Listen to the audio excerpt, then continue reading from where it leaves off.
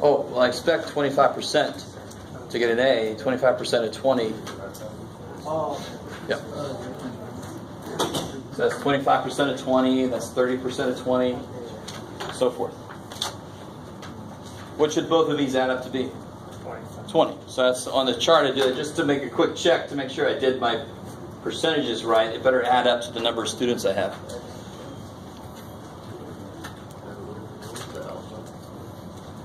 Point oh one. That's given in the problem. Uh, for my problem that I'm making out of this, yes.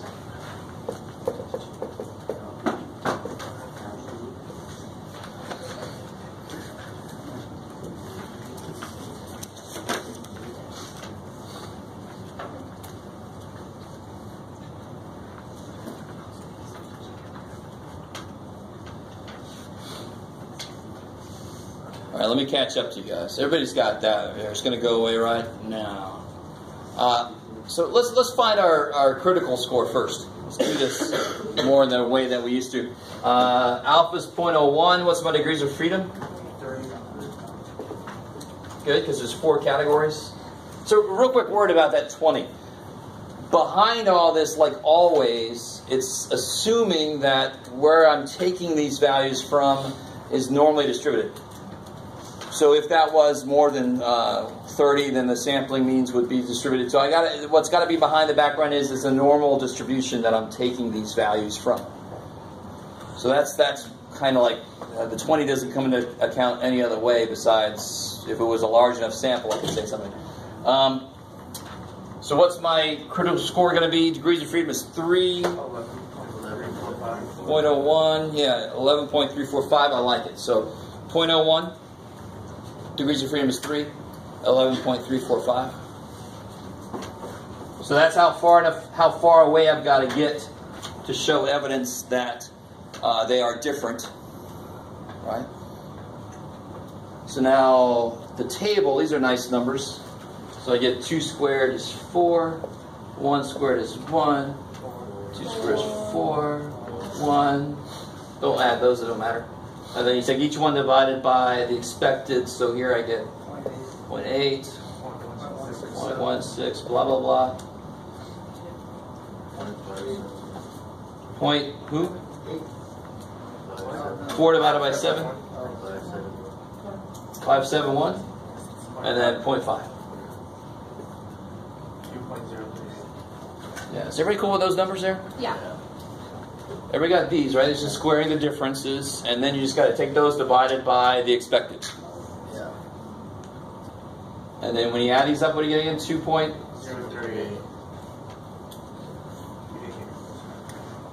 Yeah, so we're supposed to be this far away to show evidence that they're not the same. So we have failed to find evidence that they're not the same. So we basically, it looks like they could possibly be the same. Uh, that the whole population could follow that distribution that they laid out in the book. Yes, sir. Theoretically, what if you get like 11.33 as, as your. Uh, Then you still haven't found sufficient evidence. Okay. But I mean, in the real world, the closer you get to this cutoff score, the more you want to go do a reanalysis, get another sample, or get more to your sample and, and see which direction it goes. Maybe you just didn't take a large enough sample, or, or you see what I'm saying? So when you're close to this, even if you're not that close to this, you still might want to resample if you feel really strongly about your your claim, right? Um, but yeah, that, that's pathetic. I'm not going to waste my time. But that was a really small sample too, so there's chances that it was not well picked or just random choice chance it happened to be uh, not distributed correctly. So the same kind of problem is going to happen with chi-square. If my sample's too small and all these things, uh, it's not going to come out reliable in the end.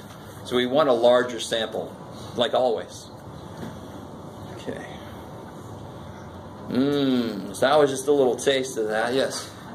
how do you, how do you answer that? Oh, uh, so let me see. The, the the exact way the book worded this question was, I love it. I love them. Uh, A teacher predicts that the distribution of grades will be this, and they that was the percentages. That's what they predicted. And then the book just says, "What can you conclude?" Well, we can conclude that we can't reject that they're the same. So we didn't find evidence to say that they're not the same. Does that? Do you see what I'm saying? So we, we did not find evidence that they're not the same. So it looks like the predict, teacher's prediction was could very well be true. We haven't found evidence to say that the prediction was false. I don't know how else to say that. I think it's a lot of ways. If I knew more languages, I would say them in that. My first language is math. English is my second. He was like, that shows, Jeff. All right. So, so I really want you to understand, we just did 11.1 and 11.2, because 11.1 is just an introduction to chi-square by itself. Uh, so I think uh, Thursday we'll start with a quiz, and then we'll do some. Uh, I'll make a little handout that's a lightning round of finding chi-square scores. No, no. Uh, quiz is on chapter 12. I never give you a quiz on what we just covered. Yeah. What page was this? Oh, uh, it was number eight, page 609. I mean, it's number nine. Sorry, number nine, page 609. Yeah. Chapter 12 we haven't seen.